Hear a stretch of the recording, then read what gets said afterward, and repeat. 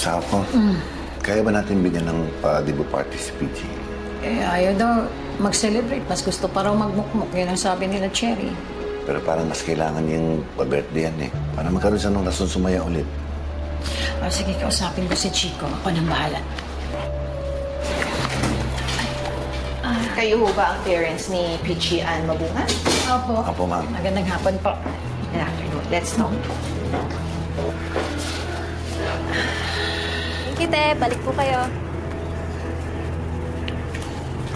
Te, kumusta ka na? Hindi pa kita kinakamusta, sis. Lemon, concerned ka ba talaga? Klaseng tanong yan. Siyempre, oo. Talaga? Eh, alam ko naman na kayo lang ni Cherry nagsumbong kay Kuya Chico tungkol sa amin ni Sir Nathan. Ate, hindi. Wala kaming alam. Ang sinabi namin kay Kuya Chico is yung alam namin na crush mo yung prof mo. Eh, hindi naman namin alam na aabot sa ganito. Sa ano? Sa pangloloko niya sa'yo. Hoy, huwag mo sabihin may feelings ka pa rin para sa kanya. Ate, tinake advantage ka ni Nathan.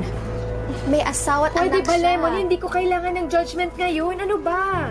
Ate, hindi kita Eh, yun yung ginajudge. nararamdaman ko eh. Sinasabi ko lang yung kailangan mong marinig. Dahil mahal kita. Ate kita eh. And I want the best type of love for you. Ate! Diana, kami na po nakikiusap mag-asawa. Please, please po, huwag niyo expel yung anak namin. Kawawa naman si Peachy. At, at saka naman po walang kasalanan anak namin si Peachy. Yung profesor, ba't hindi na si Santino? We're already dealing with Mr. Robinyon. But sa kaso ni Peachy, this is not the first time. Maraming nakarating sa amin tungkol sa kaguluhan na nasangkot ni Peachy. Din, um, naiintindihan po namin mag-asawa. Kung gusto niyong bigyan ng leksyon ang anak namin, sige po, walang problema. Pero huwag niyo naman sirain yung kinabukasan ng anak namin. Hinihintay pa naman natin ang final decision ng disciplinary committee. But in the meantime, Mrs. Mabunga, please make sure na hindi na may involve si Peachy sa mga skandalo. Consider this as a warning.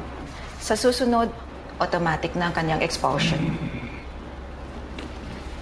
Okay po.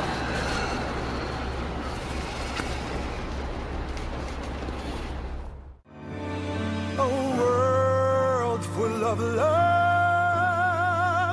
like yours, mine.